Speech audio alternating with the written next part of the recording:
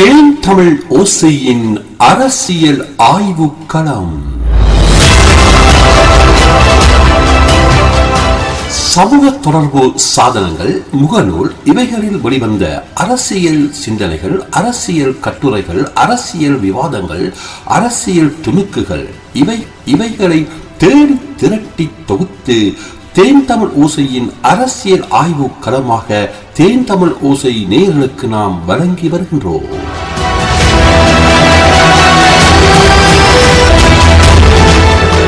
தேன் தமிழ் ஓசை நேர்களுக்காக தொகுத்து வழங்குபவர் உங்கள் அன்பிற்கினிய பேசாலை தாஸ்.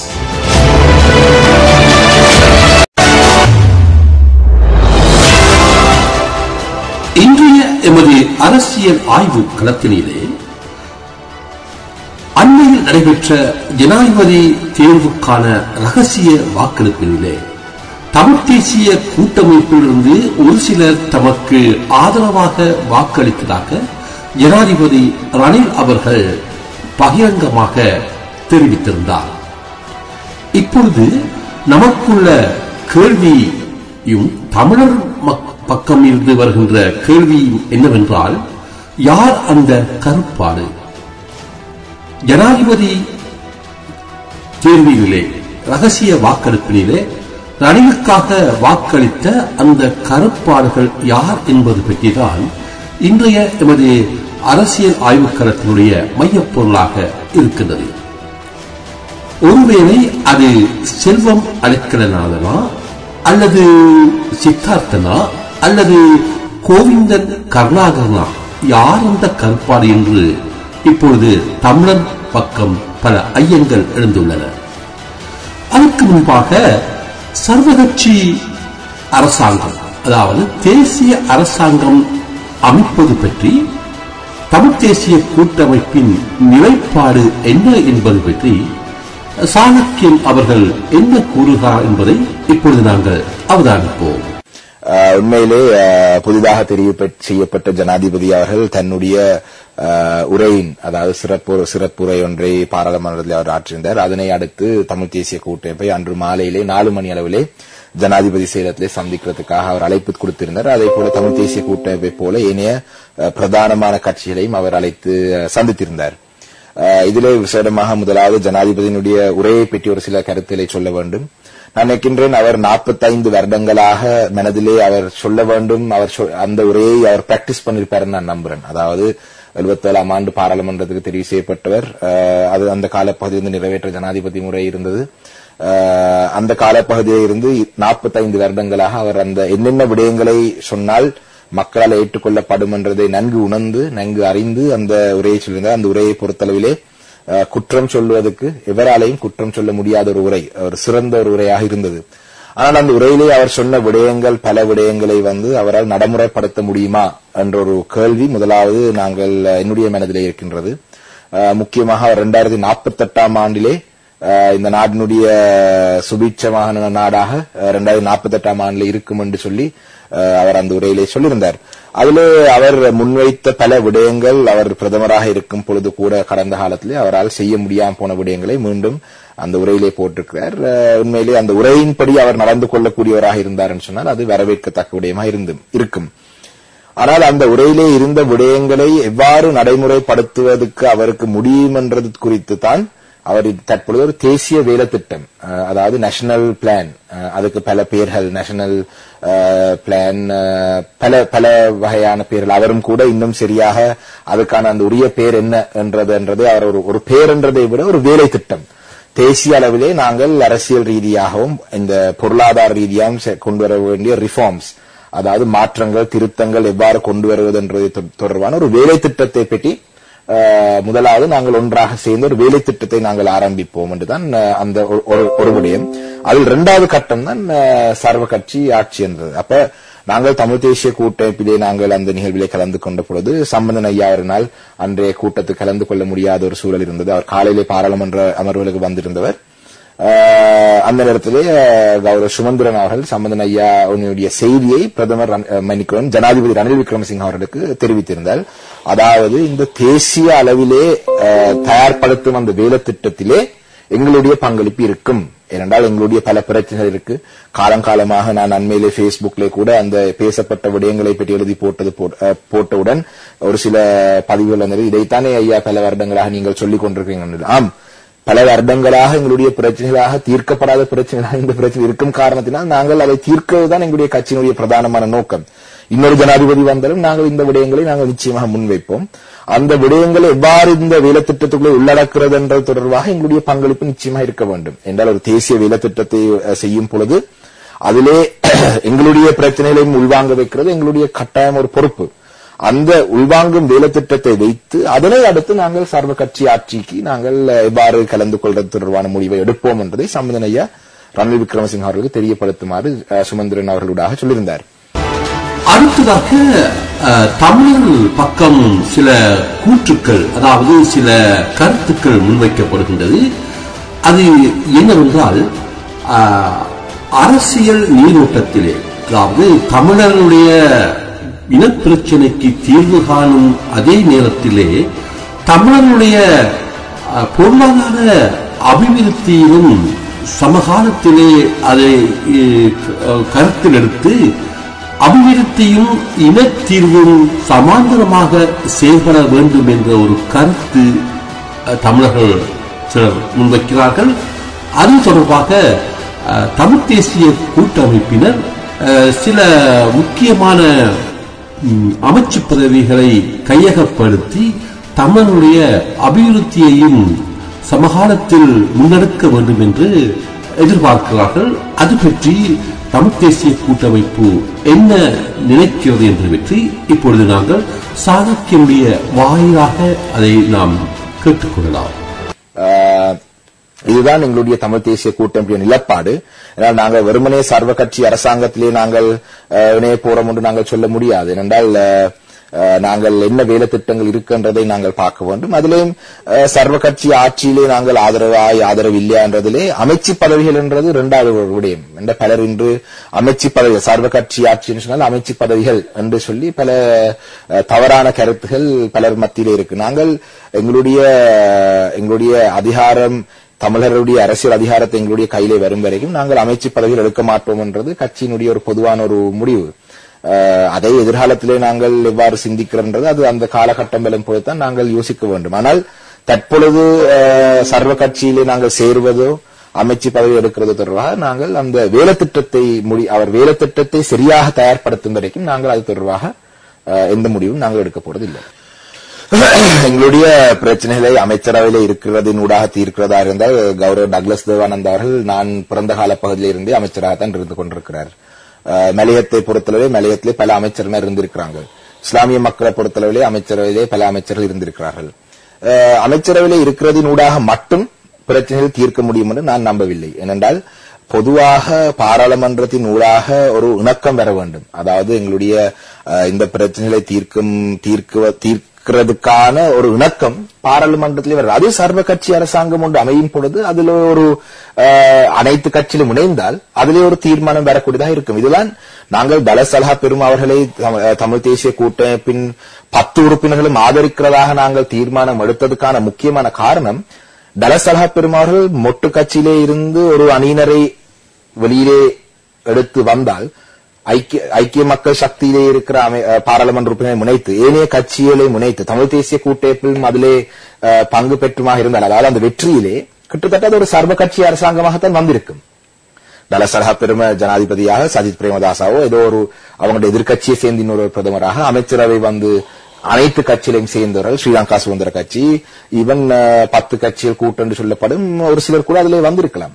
அப்ப அப்படியான ஒரு நிலைமை வரும் பொழுது அதிலே டலசலஹா பெருமாறும் சஜித் பிரேமதாசரும் எழுத்து மூலம் எங்களுக்கு தந்தவர்கள் இந்த விடயங்களை நாங்கள் செய்வோம் என்று சொல்லி அவ்வாறு இருக்கும் பொழுது அதை நிச்சயமாக நாங்கள் மிக அஹ், வேகமாக நடைமுறைப்படுத்தியிருக்கலாம் என்ற நம்பிக்கை இருக்கு ஏனென்றால் இன்று பார்த்தீங்கன்னு சொன்னால் ரணில் விக்ரமசிங்க அவர்கள் ஜனாதிபதியா இருந்தாலும் பல சட்டங்களை அஹ், அமல்படுத்துவதற்கு பாராளுமன்றத்திலே பாராளுமன்றத்தினுடைய அனுமதி தேவை உதாரணத்துக்கு அவசரகால சட்டம் அவசரகால சட்டத்தை ஜனாதிபதி அவசரகால சட்டம் என்று அறிவித்திருந்தாலும் கூட அதுக்கு பாராளுமன்றம் அதுக்கு அனுமதி வழங்க வேண்டும் பாராளுமன்றத்தின் அதில் அனுமதி வழங்கும் பொழுது ரணில் விக்ரமசிங்க அவர்களுக்கு நிச்சயமாக மொட்டு கட்சியினருடைய ஆதரவு தேவை சிங்கள பௌத்தம் மட்டும்தான் இந்த நாடுக்கு சொந்தக்காரர் என்று சொல்லி வந்த மொட்டு கட்சியை சேர்ந்தவர்களின் ஊடாக நாங்கள் இணைந்து எவ்வாறு தமிழருடைய அரசியல் அபிலாஷைகளை நாங்கள் பூர்த்தி செய்யலாம் என்ற சந்தேகம் அன்றும் இருக்கு இன்றும் இருக்கு ஆனால் இதிலே இன்னொரு முக்கியமான விடயத்தை நான் சொல்ல வேண்டும் தமிழ் தேசிய கூட்டமைப்பின் பத்து பாராளுமன்ற உறுப்பினர் நாங்கள் ஒன்றாக இணைந்து அன்றைய நாளிலே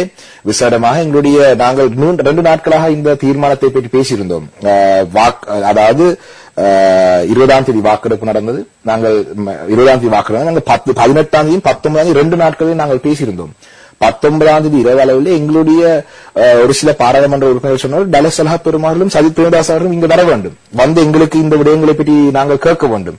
உடனடியாக அவங்களுக்கு தொலைபேசி அழைப்புகளை எடுத்து அவர்கள் அந்த இடத்துக்கு வரவழைத்தோம் உண்மையிலேயே ஒரு தேர்தல் அதாவது ஒரு ஜனாதிபதியுடைய வாக்கெடுப்புக்கு முதல் நாள் ரெண்டு முக்கியமான பிரதானமானவர்களே ஒரே நேரத்திலே நாங்கள் ஒன்றாக ஒரு குறிய இடைவெளியிலே அதாவது ஆறு மணி ஆறரை மணியிலே சொல்லி எட்டு மணிக்கெல்லாம் அவங்க வந்துட்டாங்க.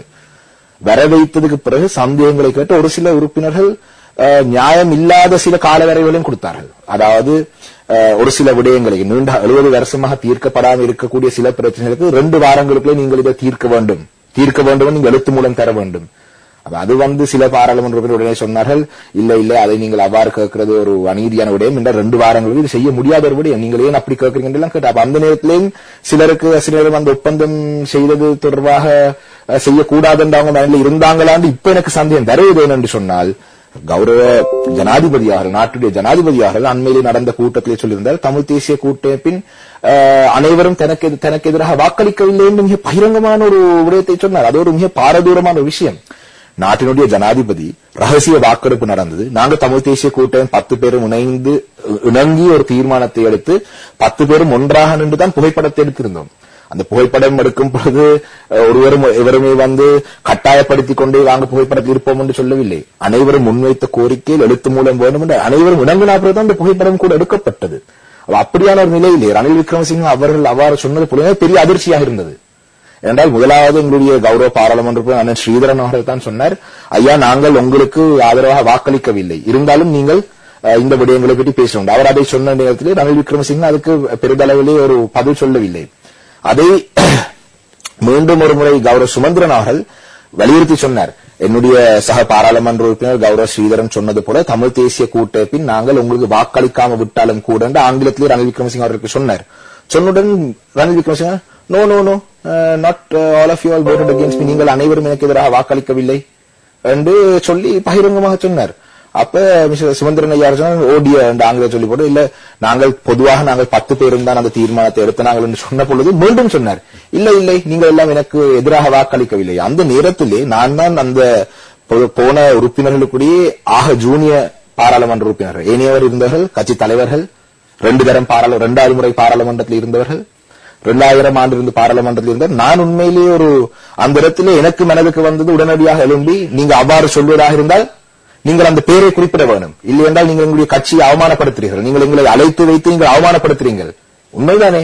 நாங்கள் பத்து பேரும் உணங்கின தீர்மானத்தை அவர் அவ்வாறு சொல்லும் பொழுது உண்மையிலேயே அந்த இடத்திலே வந்து என்னை பொறுத்தவரை கௌரவ சுமந்திரன் அவர்களும் ஸ்ரீதரன் அவர்களும் சொன்னார்கள் நாங்கள் இல்லை உங்களுக்கு எதிராக வாக்களிக்க வேண்டும்.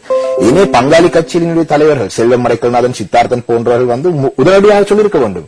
நீங்கள் சொல்றது தவறு. நீங்கள் அப்படி எவ்வாறு நீங்கள் கூறலாம்?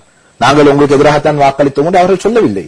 இல்ல நான் என்னை பொறுத்தளவிலே தமிழ் மக்களுடைய அரசியல் பிரதிநிதிகள் தமிழ் தேசிய கூட்டமைப்பை சேர்ந்த ஒருவருமே ஜனாதிபதி ரணில் விக்ரமசிங்கே எதிராக ஆதரவாக வாக்களித்திருக்க மாட்டார்கள். அனைவரும் எதிராக கட்சியினுடைய தீர்மானத்தை அவர்கள் நிச்சயமாக அதை பின்பற்றிருப்பார் என்பதை நான் மனதிலே நம்புறேன். ஆனால் நாட்டினுடைய ஜனாதிபதி ரெண்டு முறை ஒரு நக்கல் மாதிரி நீங்க எல்லாரும் வாக்களிக்கலன்னு சொல்லும் பொழுது கட்சி தலைவர் என்ற அடிப்படையிலே பங்காளி கட்சியினுடைய தலைவரான சித்தார்த்தன் அவர்களுக்கும் செல்வம் மறைக்கல்நாதன் அவர்களுக்கும் என் கோவிந்தன் கருணாகரன் கட்சியினுடைய தெலுவினுடைய செயலாளர் நாயகம் அவர்களுக்கு உடனடியாக சொல்லியிருக்கலாம். இல்லை நீங்கள் எவ்வாறு அப்படி சொல்லலாம்? என்று சொல்லுங்கள் ஆனால் அவர்கள் சொல்லவில்லை. இது ஒரு மிக மிக ஒரு கவலையான ஒரு விடயம். நான் அந்த இடத்துல சொல்லியிருந்தால் சாணக்கியனால் அந்த கூட்டம் குழப்பம் அடைந்தது என்று சொல்லி நாளைக்கு ஒரு பேர் வரக்கூடாது.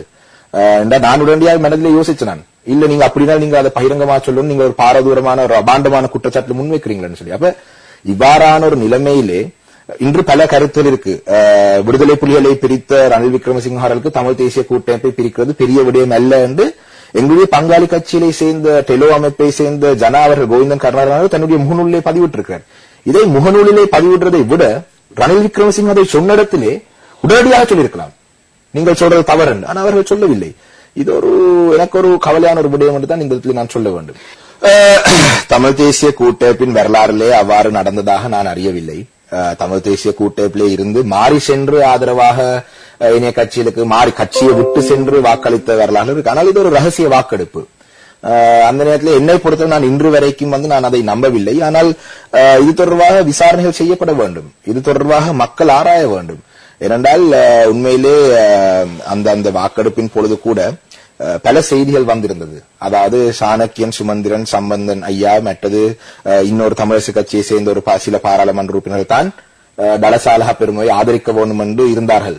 அஹ், ஏனையவர்கள் நடுநிலையம் வகிக்க வேண்டும் என்று இருந்தார்கள். ஏனையவர்கள் வ- பல்வேறு கருத்து வேறுபாடு இருந்தார்கள் எல்லாம் வந்திருந்தது. அப்ப அதுல பார்க்கும் பொழுது மக்கள் மத்தியிலே பல சந்தேகங்கள் இன்று வந்திருக்கு. இந்த சந்தேகங்களுக்காக நாங்கள் தமிழிலே அறிக்கைகளை விட்டு நாங்கள் அவ்வாறு செய்யவில்லை நாங்கள் முகநூல் பதிவுகளை விடுவதை விட இதை ஜனாதிபதிக்கு நேரடியாக நாங்கள் சேலஞ்ச் பண்ண வேண்டும். ஹரின் பெர்னாண்டோன்றது அவர் சொன்னார் சொன்னால் ஒரு பகிரங்க சவாலை விட வேண்டும். இல்லைன்னு சொன்னால் அன்றைய கூட்டம். அது ஊடகம் இல்லாத ஒரு கூட்டம். ஊடகத்துக்கு அந்த கூட்டத்துக்கு அனுமதி இருக்கவில்லை. நாங்கள் பாராளுமன்றத்துக்குள்ளே நாங்கள் பேசுற விடயங்கள் உடனே வந்து ஊடகங்களிலே வந்துவிடும். அவிடத்து நாங்கள் எங்களை எங்களுடைய தரப்பினரை நாங்கள் உறுதிப்படுத்துவதற்காக உடனடியாக சொல்லியிருக்க வேண்டும். நான் ஒரு பங்காளி கட்சியின் தலைவராக இருந்தால் நான் உடனே அதை செய்திருப்பேன். நான் ஒரு கட்சியினுடைய தலைவராக இருந்திருந்தால் நான் அந்த கூட்டத்தில் இருந்து நீங்கள் சொன்னது தவறு. நான் வெளியே வந்து நாட்டினுடைய ஜனாதிபதி வந்து இவ்வாறு சொன்னது ஒரு ஏற்றுக்கொள்ள ஒரு முடியாத ஒரு விடயம். ஏனென்றால் அவ்வாறு அஹ், சந்தேகங்களை ஏற்படுத்தும் வகையான ஒருவர் எவ்வாறு எங்களுடைய பிரச்சனையை தீர்க்கலாம் என்று நாங்கள் நம்புவது? ஜனாதிபதி தெரிவினிலே ரகசிய வாக்கெடுப்பினிலே ஜனாதிபதி ரணில் அவர்கள் தமிழ் தேசிய கூட்டமைப்பினர் ஒரு சிலர் தனக்கு ஆதரவாக வாக்களித்தார்கள் என்று சொல்லுகிறார்கள். இவ்வாறு ஜனாதிபதி ரணில் அவர்கள் கூறுவதற்கு உள்நோக்கம் ஏதாவது இருக்குமா? அதாவது தமிழ் தேசிய கூட்டமைப்பை பிளவுபடுத்தி அதில் ஒரு சிலரை தனக்கு சாதகமாக பயன்படுத்தக்கூடிய ஒரு சூழ்ச்சியாக இது இருக்குமா? இது பற்றி அஹ், அவர்கள் என்ன கருதுகிறார்? நாங்கள் ஒன்றாக இணைந்து பேசி பல நேரங்கள் வாதம் பிரதிவாதங்கள் செய்துதான் அந்த தீர்மானத்தை எடுத்தோம். என்னுடைய கருத்து என்னென்று சொன்னால் ரணில் விக்ரமசிங்க அவர்கள் கட்சி தமிழ் தேசிய கூட்டமை பிரிக்கிறதுக்கு முயற்சி எடுக்கிறார் என்று சொல்லி நாங்கள் ஒரு சிலர் சொல்லும் பொழுது அதனை நாங்கள் அந்த இடத்திலேயே அதை கிளியர் பண்ணிருக்கோம் என்றது மட்டும்தான் நான் சொல்ல வரேன். நாங்கள் அப்படி இல்லாவிட்டால் எங்களுடைய கட்சிக்குள்ளே நாங்கள் எந்த இணக்கம் வரையில நான் சொல்ல வரவில்லை. இந்த இந்த இந்த இந்த கருத்துகளுக்குத்தான் நான் மக்களுக்கு ஒரு தெளிவுபடுத்தலுக்காகத்தான் நான் இதை சொல்றேன். தமிழ் மக்களுடைய அரசியல் உரிமையை பொறுத்தளவில்லை தமிழ் மக்களுடைய அரசியல் தீர்வை பொறுத்தளவில்லை எங்களுடைய பிரதானமான எங்களுடைய தமிழர் முகம் கொடுக்கும் பிரச்சனையை பொறுத்தளவிலே நாங்கள் தமிழ் தேசிய கூட்டமைப்பாக நாங்கள் எடுக்கும் முன்னெடுப்புகளின் காரணத்தினால் தான் இன்றும் அது ஒரு பிரச்சனையாக கூட பேசப்படுகிறது. உதாரணத்துக்கு நாங்கள் எங்களுடைய தமிழ் மக்களுடைய அஹ், எதிர்காலத்தை வியாலேந்திரன் பிள்ளையான் அங்கஜன் டக்லஸ் போன்ற கௌரவ அமை பாராளுமன்ற உறுப்பினர் போன்றவர்களுடன் நாங்கள் ஒப்படைத்திருந்தால் இன்று வடக்கு கிழக்கை பொறுத்தளவிலே வடக்கு கிழக்கிலே ஒரு வடக்கு கிழக்கு சந்தைப்படுத்தப்பட்டிருக்கும். நாங்கள் தமிழ் தேசிய கூட்டமை மிக உறுதியாக இருக்கும் காரணத்தினால்தான் ஜனாதிபதியினுடைய கொள்கை முறையிலே கூட அஹ், தமிழ் மக்களுடைய பிரச்சனை என்று சொல்லி பிரதானமாக சொல்லப்பட்டது. அப்ப இந்த பிரச்சனையின் இந்த பிரச்சனையை நாங்கள் முகம் கொடுக்கிறதுக்கு நாங்கள் எங்களுடைய நாங்கள் ஒரு தூர நோக்கு பார்வையுடன் நாங்கள் பயணிக்க வேண்டும் தான் சொல்றோம். அதாவது இன்று ரணில் விக்ரமசிங்க அவர்கள் வந்திருக்கிறார். அவர் ஆசை வார்த்தைகளை நிச்சயமாக சொல்லுவார். என்றால் ஒன்பதாம் மாதம் ஐநா மனித உரிமை பேரவையினுடைய அமர்வுகள் வரப்போகுது. அப்ப அந்த ஐநா மனித உரிமை பேரவையிலே இலங்கைக்கு எதிராக வரக்கூடிய சில அழுத்தங்களை குறைக்கிறதும் கூட அவர் சில சில விடயங்களை அவர் காய் இதை நாங்கள் சரியாக அதாவது ரணில் விக்ரமசிங்கவால இன்று இதை செய்ய முடியுமா? முடியவில்லையா?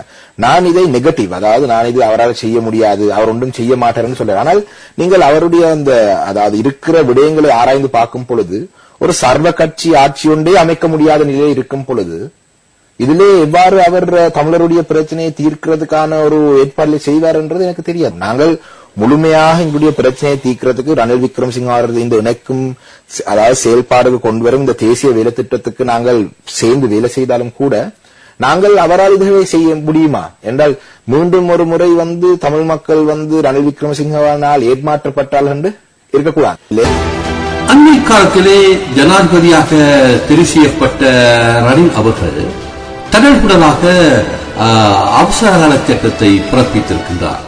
இந்த அவசரகால சட்டம் பற்றி தமிழ் தேசிய கூட்டமைப்பு என்ன கருதுகின்றது?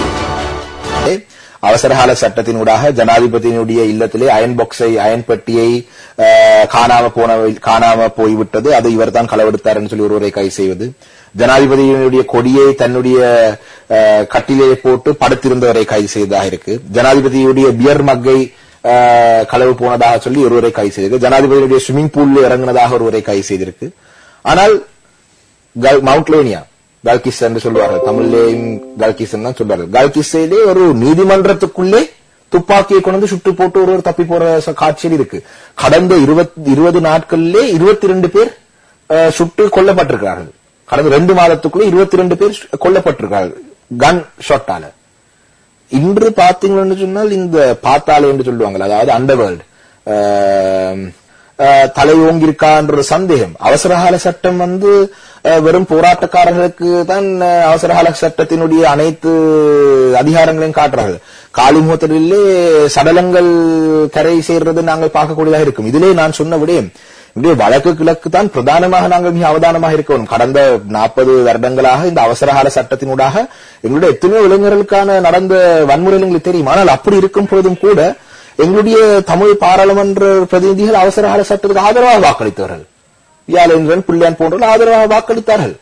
அவ இது எங்களுடைய மக்களே இன்னும் கொஞ்சம் கொழும்பிலே தலைநகரத்திலே இவ்வாறு நடக்குது என்று சொன்னார் சர்வதேச ஊடகங்கள் அனைவரும் இருக்கும் பொழுது ரெண்டாயிரத்தி ஒன்பதாம் ஆண்டு என்னென்ன நடந்திருக்கும் நாங்கள் சொல்றதெல்லாம் இப்ப சிங்கள மக்கள் ஏற்றுக்கொள்றாங்க.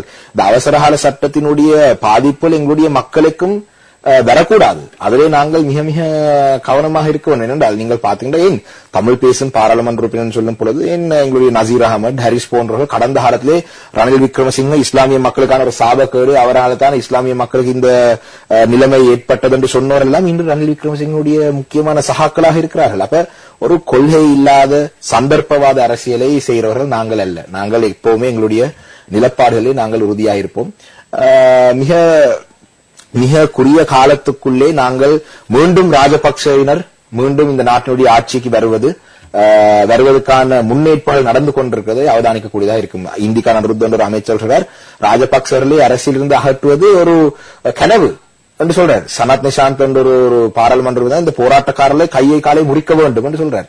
அப்ப மீண்டும் இந்த ரணில் விக்ரமசிங்கனுடைய காலப்பகுதியிலே இது ரணில் விக்ரமசிங்குக்கு எதிராக எனக்கு தனிப்பட்ட எந்த ஒரு பிரச்சனையும் இல்லை நான் அண்மையிலே கூட அவரை நான் பாராளுமன்றத்தில் கண்ட பொழுது நான் போய் வாழ்த்தி விட்டேன் வீரேசிலே கூட அந்த செய்தி வந்திருந்தது அவ எனக்கு அவருடன் தனிப்பட்ட ஒரு பிரச்சனை இல்லை ஆனால் அவர் ரெண்டாயிரத்தி நாற்பத்தி எட்டாம் ஆண்டு நாட்டிலே சுபிச்சமாக இருக்கும் ஆனால் அதை பார்க்க நான் இருக்க மாட்டேன் என்று சொல்லியிருந்தார் பாராளுமன்ற உரையிலே ரெண்டாயிரத்தி நாற்பத்தி எட்டாம் ஆண்டு வரும் பொழுது எனக்கு கிட்டத்தட்ட 58 வயது தான் இருக்கும் நான் இயல்பாக எனக்கு இயற்கையாக எனக்கு வாழ்வதற்கு வா- அந்த காலம் கிடைத்தா எனக்கு 58 வயது அப்ப நான் அந்த நேரத்தில் 57 58 வயது அப்ப நான் அந்த நேரத்தில் இருக்கும் மக்களுக்கு பொறுப்பு பொறுப்பாக பதில் சொல்ல வேண்டிய நிலையில் இருக்கலாம். இன்று அவரை ஆதரிக்கிறவர்கள் அவரை எதிர்க்கிறவர்கள் எல்லாம் சில நேரத்திலே இரண்டாயிரத்தி நாற்பத்தி எட்டாம் ஆண்டு இருப்பார்கள் என்ற சந்தேகம் கூட இருக்கு. அதனால தான் அவரினால் அவரினுடைய பொறுப்பு மீண்டும் ராஜபக்சவினரை ஆட்சிக்கு கொண்டு வர்றதுக்கான அவர் விரும்பினாலும் விரும்பாவிட்டாலும். சில நேரத்திலே அவர் பதவிக்கு வந்த அப்புறம் இல்லை ராஜபக்சரை வரவிடக் கூடாது என்று அவர் சில நேரம் அவர்கள் மனதிலே வைத்திருக்கலாம். ஆனால் ராஜபக்சனுடைய குழு குழுவினர் மொட்டு கட்சியினுடைய குழுவினருடைய திட்டம் இன்று கோட்டா வேண்டாம் என்று சொன்னதுக்கு ஒரு பிரதானமான காரணம் கோட்டா பொருளாதார ரீதியாக மக்கள் எதிர்பார்த்த எதிர்பார்ப்புகளை பூர்த்தி செய்யவில்லை. மீண்டும் இன்னொரு கோட்டா பொருளாதார ரீதியாக செய்யக்கூடியவர் வந்தால் கூட ஒரு சிலர் அதை விரும்பலாம். இன்று சில பௌத்த தேர்தலை பார்த்த நான் கோட்டா கோட்டாபய ராஜபக்ஷ நாட்டை விட்டு போயிட்டு ஒரு சில மணித்தலங்களுக்குள்ளே நாட்டினுடைய செக்யூரிட்டி போர்சஸ் எல்லாம் வீக்கன் ஆகிட்டு தற்பொழுதே இந்தியாவிலிருந்து ஆயுதங்கள் வருவதோ தெரியாது. வடக்கு கிழக்கிலே வந்து கோட்டா போல ஒரு தலைவர் இல்லாமல் போனதினால் சிங்களவர்களை வாழ முடியாத ஒரு நிலம் வரும் என்றெல்லாம் இப்பவே ஊடகங்களிலே அந்த ஒரு ஒரு ரெண்டாயிரத்தி பதினைஞ்சாம் ஆண்டு மஹிந்த வென்றுடன் எப்படி மஹிந்த சுலங்கண்டு ஆரம்பித்தார்களோ மீண்டும் அவ்வாறான ஒன்றை ஆரம்பிப்பதை அவதானிக்கிறோம். நாங்கள் மிக மிக அவதானமாக இருக்க வேண்டும். அந்த அந்த அந்த இடத்துக்கு நாடு போவதை நாங்கள் எவ்வாறு எவ்வாறாவது நாங்கள் அனைவரும் ஒன்றாக சேர்ந்து மீண்டும் ஒரு ராஜபக்சனுடைய ஒரு அதிகாரம் ஆட்சி வராத அளவுக்கு நாங்கள் கவனமாக இருக்க வேண்டும். அடுத்தபடியாக தமிழ் தேசிய கூட்டமைப்புக்குள் தலைமை பதவிக்கான தலைமை பதவியை குறிவைத்து சில போராட்டங்களும் சில அமுக்க செயல்பாடுகளும் அஹ், இடம்பெற்று வருகின்றன. அதாவது அந்த சுழற்சி முறையிலே இந்த தமிழ் தேசிய கூட்டமைப்பினுடைய அஹ், தலைமை பதவி இருக்க வேண்டும் என்று செல்வம் அடைக்கலநாதன் அஹ், சித்தார்த்தன் இவர்கள் கருதுகின்றார்கள். ஒருவேளை தமிழ் தேசிய கூட்டமைப்பினுக்குள்ள இருக்கின்ற இந்த புலவு அஹ், ரணில் பக்கம் சாய்வதற்கான ஒரு சமிக்கையாக இருக்குமோ என்று நாங்கள் நினைக்கின்றோம். அது பற்றி அஹ், சாணக்கியன் அவர்கள் என்ன கருதுகிறார் என்பதை இப்பொழுது பார்ப்போம். உண்மையிலே அது தொடர்பாக நான் பேசுவதற்கு எனக்கு அந்த அதிகாரம் இல்லை என்றால் நான் முதலாவது முறையாக தெரிவு செய்யப்பட்ட ஒரு பாராளுமன்ற உறுப்பினர். ஆனால் தமிழ் தேசிய கூட்டமைப்பின் பிரதானமான கட்சி தமிழரசு கட்சி தான். இலங்கை தமிழரசு கட்சி தான் பிரதானமான கட்சி. அஹ், நாங்கள் தேர்தல் காலத்திலே நாங்கள் ஒன்றாக போட்டியிடுவதாக இருந்தாலும் கூட இனிய காலப்பகுதியிலே நாங்கள் வேற வேறையாகத்தான் கலந்து சில நேரங்களில் நீங்கள் பார்த்தா மட்டக்களப்பு மாவட்டத்திலே தமிழ் தேசிய கூட்டமைப்பின் நிகழ்வுகளுக்கு நீங்கள் டெலோ கட்சியை சேர்ந்தால் நீங்கள் கலந்து கொள்ளக்கூடாது என்று கூட உத்தரவுகள் போட்ட வரலாறுகள் இருக்கு. அவ்வாறான நிலையிலே அனைத்து க- தங்களுடைய தாங்க தாங்க பிரதிநிதித்துவப்படுத்துற கட்சி தங்களுடைய கட்சிக்கு தான் தலைமைத்துவம் வர வேண்டும் என்று தான் நினைப்பார்கள். நான் தமிழரசு கட்சியை சேர்ந்தவர். நான் தமிழரசு கட்சியினுடைய ஒரு தலைவர் இருந்தால் சிறந்ததாக இருக்கும் நான் விரும்புவேன். அப்ப அதுதான் என்னுடைய விருப்பமாக இருக்கும் தமிழரசு கட்சியை சேர்ந்த ஒரு தலைவர் தமிழ் தேசிய கூட்டமைப்பின் தலைமை பதவி. சாணக்கிய கூற்றுப்படி நாங்கள் அவதானித்தால் தமிழ் தேசிய கூட்டமைப்பை ஒரு அரசியல் கட்சியாக பதிவு செய்ய வேண்டும் என்று செல்வம் அடைக்கலநாதன் சித்தார்த்தன் அவர்கள் கருதுகிறார்கள். அதாவது இவர்கள் இந்த கூட்டமைப்பில் ஒரு அங்கமாக போராடி கட்சிகள் என்ற வகையினிலே உள்ளுக்குள் இணைக்கப்பட்டவர்கள் அதுவும் பெருந்தலைவர் தேசிய தலைவர் பிரபாகரன் அவர்களுடைய முனைப்பினிலே ஏற்படுத்தப்பட்ட தமிழ் தேசிய கூட்டமைப்பிலே ஒரு போராளி கட்சியாக தாங்கள் இருப்பதினால் தமிழ்த் தமிழ் தேசிய கூட்டமைப்பு ஒரு அரசியல் கட்சியாக பதிவு செய்யப்பட வேண்டும். அவ்வாறு பதவி செய்ய- பதிவு செய்யப்பட்டால் தமிழ்த் தமிழ் தேசிய கூட்டமைப்புக்குள்ளே தமிழ் அரசு கட்சியுடைய செல்வாக்கு அமுக்கப்படும் ஆஹ், தலைமை பதவிகள் பொறுப்பான பதவி பதவிகள் சமமாக்கப்படும் என்று செல்வம் அடைக்கலநாதன் ஆஹ், மற்றும் சித்தார்த்தன் அவர்கள் கருதுகிறார்கள். இந்த நிலைப்பாடு ஒருவேளை ஜனாதிபதிக்கு ரகசிய வாக்கெடுப்பிலே ஜனாதிபதி ரணிலுக்கு சார்பாக இவர்கள் வாக்களித்திருக்க கூடுமோ என்ற ஒரு ஐயப்பாடும் இவர்கள்தான் அந்த கருப்பாடு என்று நாங்கள் நினைக்கக்கூடிய அளவுக்கு இப்பொழுது சந்தேகங்கள் வலுப்பெற்று வருகின்றன.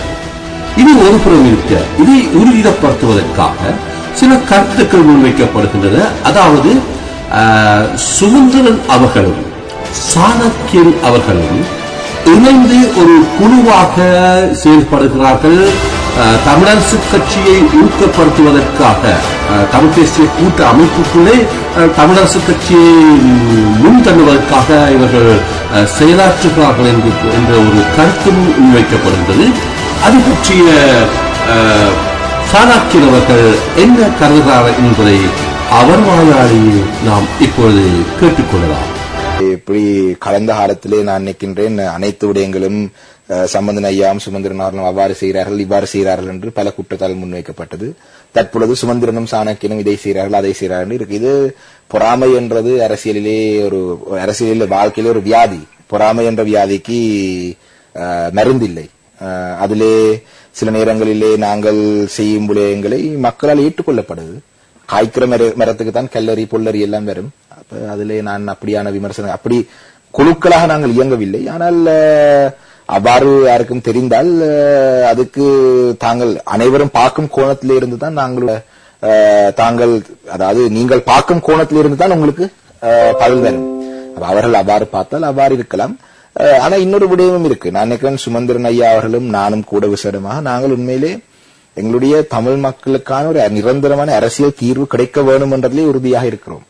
வெறுமனே நாங்கள் தொடர்ச்சியாக பாராளுமன்ற உறுப்பினராக இருக்க வேண்டுமென்றதுக்காக மக்களை நாங்கள் உசுப்பேத்தி மக்களை அஹ், ஒரு அடைய முடியாத சில இலக்குகளை பொய்யாக சொல்லி பயணிக்கிறது. நான் நினைக்கும் நான் விசேடமாக நான் அதை செய்யவில்லை. என்றால் என முப்பத்தொரு வயதிலே நான் தொடர்ந்து எம்பியாக இருக்கிறதாக இருந்தால் தமிழர்களுக்கு முன்னேற்றகரமான சில செயல்பாடு என்னால் செய்ய முடியும் என்றால் தான் நான் இருக்க வேண்டும். ஆனா ஒரு சிலருக்கு அவ்வாறு இல்லை.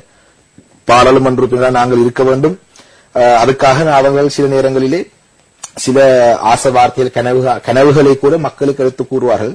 ஆனால் அவ்வாறு சொன்னால் உன் நீங்கள் எவ்வளவு தூரம் பொய்யை சொல்லி பொய்யை சொல்லி வந்தீங்களோ எங்கேயோ ஒரு இடத்திலே அந்த பொய்க்கு நீங்கள் பொறுப்பு கூற வேண்டியவர்களாக இருப்பீர்கள். அந்த அடிப்படையிலே சில நேரங்களிலே அப்படியான சிந்தனை வரலாம். ஆனால் நானும் சும- நானும் சுமந்திரன் கௌரவ பாராளுமன்றம் நாங்கள் இணைந்த ஒரு கூட்டாக குழுவாக நாங்கள் ஒரு இடத்திலையும் நாங்கள் அப்படி செய்யவில்லை. சில நேரங்களில் நாங்கள் இருவரும் ஒரே வகையான கருத்துக்களை சொல்வது ஒரே சிந்தனையில் இருக்கிறது அது அப்படியான இருக்கிறதுக்கான காரணமா இருக்கலாம். ஆனால் அது எல்லாத்தையும் விட நான் சொன்னது போல அந்த ஜெலசி பொறாமை என்றதுக்கு ஒரு நோய் அது மருந்து- மருந்தில்லாத ஒரு நோய் அதை குண இதுவரையும் சாணக்கியனுடைய செவ்வியிலிருந்து தேன் தமிழோசை ஒரு நிலைப்பாட்டுக்கு ஒரு முடிவுக்கு வருகின்றது. அதாவது சர்வஜன வாக்கெடுப்பு மன்னிக்கவும் ஜனாதிபதியினுடைய ரகசிய வாக்கெடுப்பினிலே தமிழ் தேசிய கூட்டமைப்பினுடைய அமைப்புக்குள் இருந்திருந்து ஜனாதிபதிக்கு ஆதரவாக வாக்களித்தவர்கள் அந்த கருப்பார்கள் செல்வம் அடைக்கலநாதன் அல்லது சித்தார்த்தன் அல்லது கோவிந்தன் கருணாகரன் இவர்கள் மூவரில் இருவர் அல்லது மூவருமே இந்த கருப்பாடுகளாக இருக்கக்கூடும் என்பது எமது நிலைப்பாடாக இருக்கின்றது. இதுவே தமிழ் மக்களுடைய ஐயப்பாடாகவும் இருக்கின்றது. இவர்கள்தான் அந்த கருப்பார்கள் என்று தமிழர்களுடைய தரப்பு இப்பொழுது சிந்திக்க தொடங்குகின்றது. இது தொடர்பாக ஆஹ், கோவிந்தன் கருணாகருடைய செய்தியை நாங்கள் இப்பொழுது தென்தமிழிசை நேர்களுக்காக நாங்கள் இங்கு பதிவிடுகின்றோம் அனைவருக்கும் வணக்கம். கடந்த சனிக்கிழமை சக்தி டிவியின் நியூஸ் லைன் நிகழ்ச்சியிலே தம்பி சாணக்கியன் என்னுடைய சக பாராளுமன்ற உறுப்பினர் அஹ், ஒரு பேட்டி கொடுத்திருந்தார். அந்த பேட்டியிலே முழுக்க முழுக்க அவர் பொய் உரைத்திருக்கின்றார் எனக்கு தெரியும் ஒரே மாவட்டத்தைச் சேர்ந்த பாராளுமன்ற உறுப்பினர் ஒரே கட்சியைச் சேர்ந்த பாராளுமன்ற உறுப்பினர். நான் அதற்கு இப்படி பதில் கூறுவது சில வேளைகளிலே ஆரோக்கியமாக இருக்காதென்றாலும் எனக்கும் ஒரு கடமை இருக்கின்றது.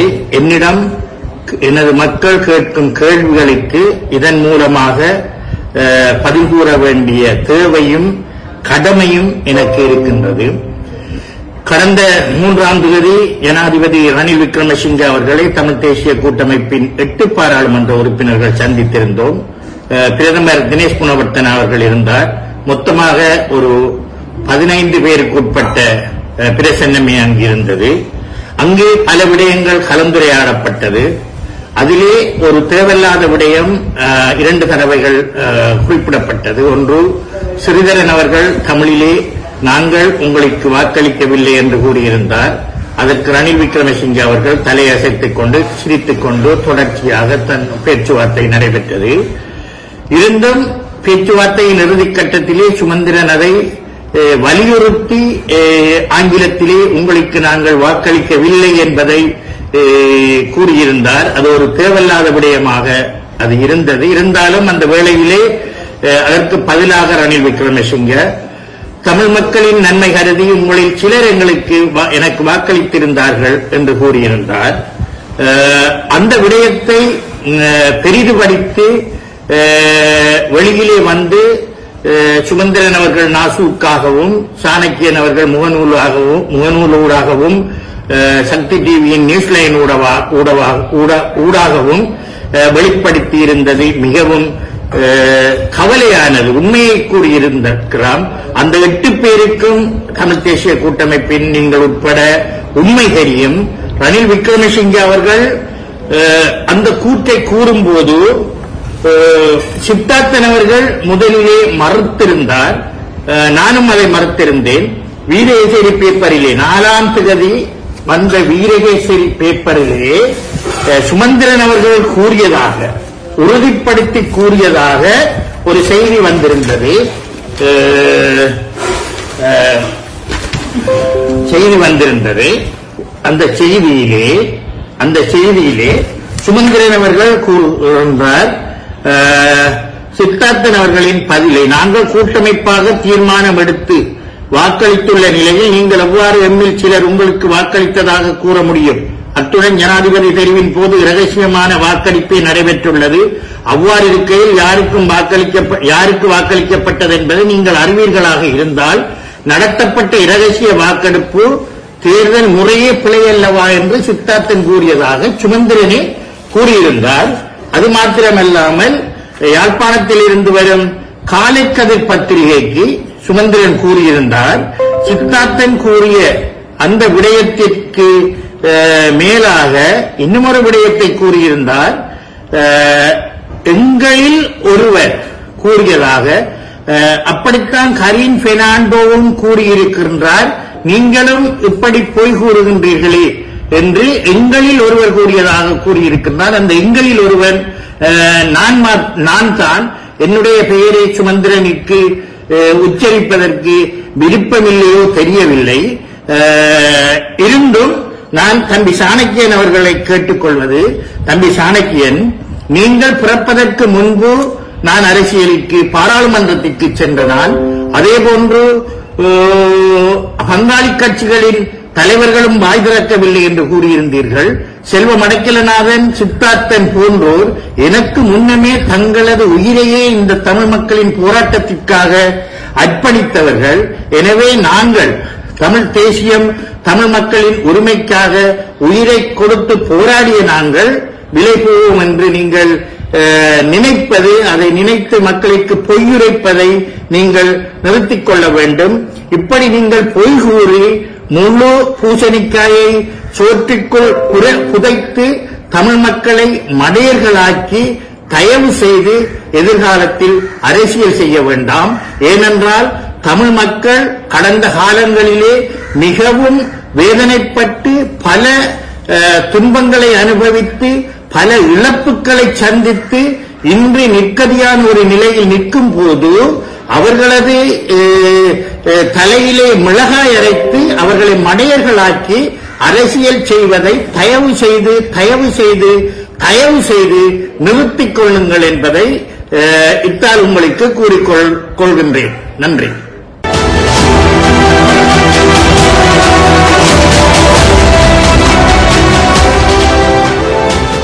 நேயர்கள் இதுவரையும் ஜனாதிபதி ரணிலுடைய ரகசிய வாக்கெடுப்பிலே கருப்பாடுகளாக இருந்து வாக்கெடுத்தவர்கள் யார் என்ற கோணத்திலே தேர்ந்தமிழிசையின் அரசியல் ஆய்வுக் கழகத்தினுடைய இன்றைய பார்வை இருந்தது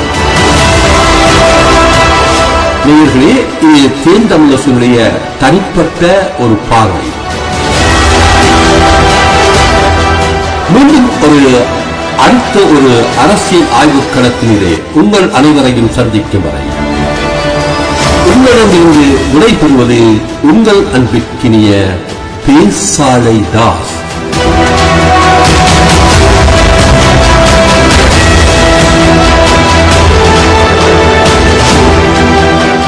இதுவரையும் நீங்கள் கேட்டதும் பார்த்ததும் நேயர்களே எமது காணொளி காட்சிகளை கண்டும் கேட்டும் மகனும் நீங்கள். இந்த காணொளி காட்சியுடன் காட்சியிலே சப்ஸ்கிரைப்ஸ் பட்டனை அழுத்துவதன் மூலமாக எமக்கு உங்களுடைய ஆதரவினை நீங்கள் வழங்கலாம். அத்தோடு எமது இணையதளத்திலும் இணைந்திருந்து எமது நிகழ்ச்சிகளை செறியுற்று எமக்கு ஆதரவு தாருங்கள்.